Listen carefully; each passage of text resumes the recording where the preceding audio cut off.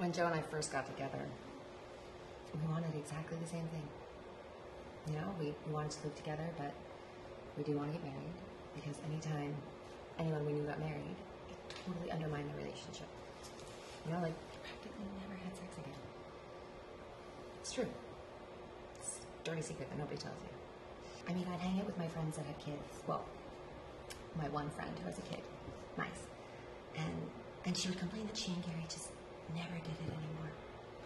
Actually, she didn't even really complain. She just kind of stated it, just matter of factly.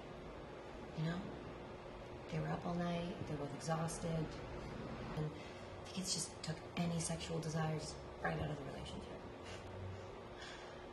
Joe and I used to talk about how lucky we were to have this wonderful relationship where, you know, we could have sex on the kitchen floor without worrying about the kids walking in. Or we could go off to Rome on a moment's notice. And then, one day, uh, I had my sister's little girl for the afternoon. Um, I promised her I'd take her to the circus. And so we're in the cab on the way there, and uh, we're playing I Spy. You know, like I spy a mailbox, I spy a lamppost. And uh, she looks out the window and, and she sees this man and, and a woman and two little kids.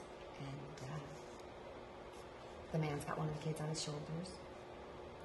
And uh, my little girl, she just, she points at them and she says, I spy a family. And I just,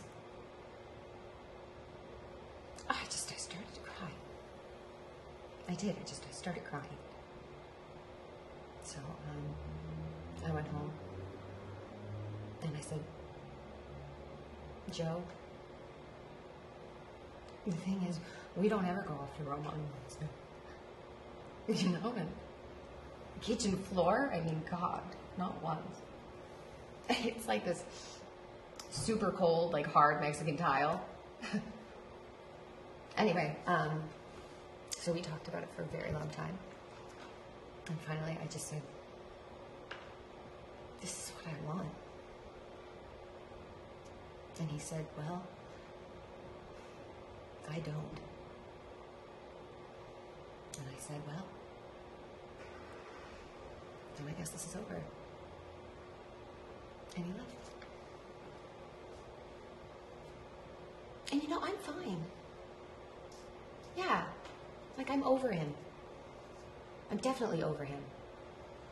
I mean, I mean, that was the best he, he could give me. That was all he had. You know? And God, you know, the more I think about it, the more I am convinced I did the right thing.